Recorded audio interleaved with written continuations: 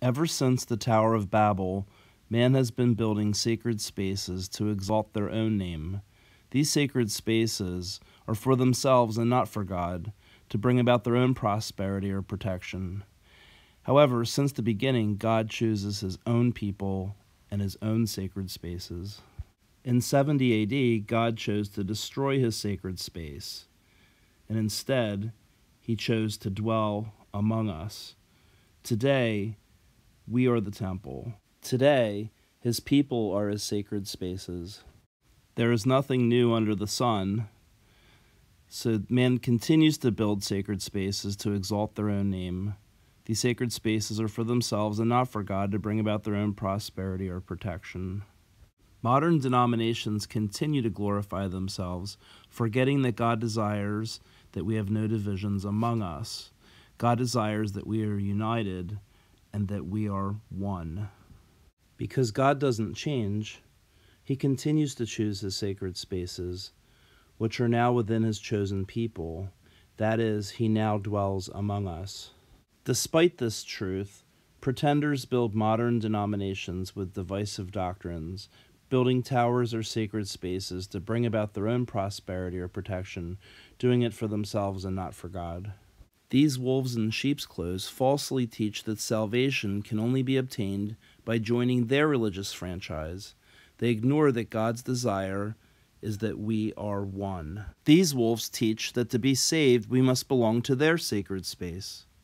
Each wolf in sheep's clothes believed that God gave them special knowledge or revelation that he has never given anyone else. Each wolf added their new demonic revelations into the Word of God through eisegesis. Each wolf believed that God gave them new revelations that he never gave the apostles.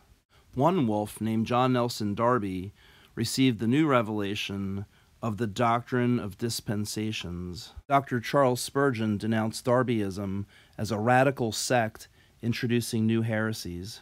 For God is not the author of confusion.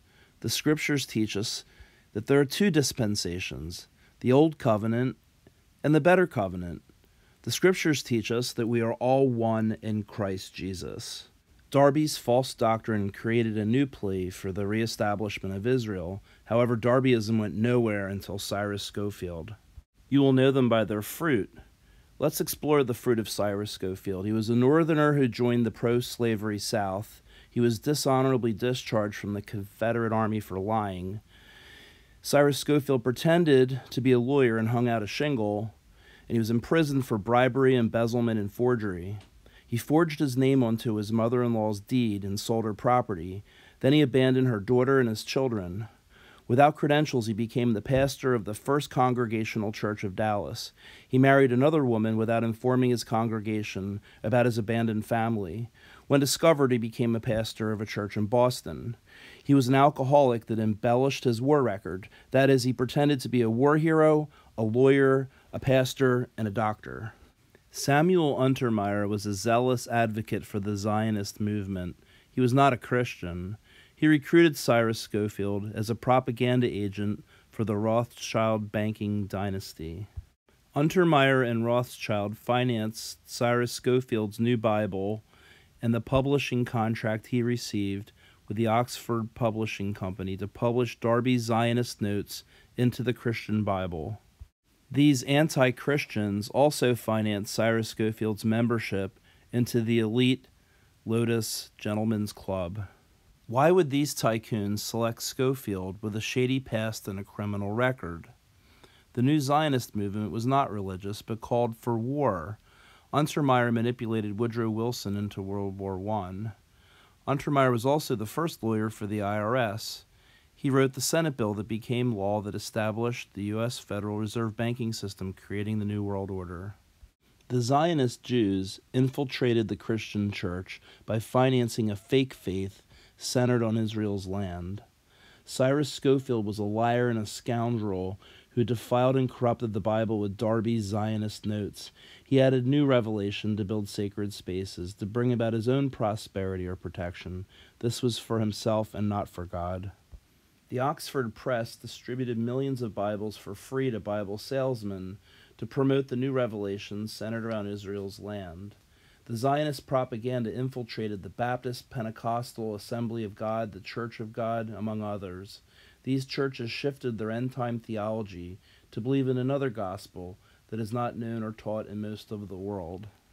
This false doctrine has become mainstream because it is taught at the Dallas Theological Seminary, the Moody Bible Institute, and many other institutions that create Zionist Christian pastors. We are told that men will seduce us, but we don't need any man to teach us.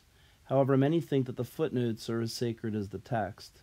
Were Jesus' words not enough? Is Israel still waiting for God's promise? We're told in Joshua 21 that God already gave unto Israel all the land promised. We're also told that all came to pass. Those placing faith in the footnotes are like foolish men which build their house upon the sand. This word foolish means dull, stupid, or blockhead. We inherit the earth, not a little sliver of land. This little sliver of land will do nothing for anyone's salvation. A future rebuilt temple with animal sacrifices will do nothing for anyone's salvation. We must stop building sacred spaces because we are one in Christ Jesus.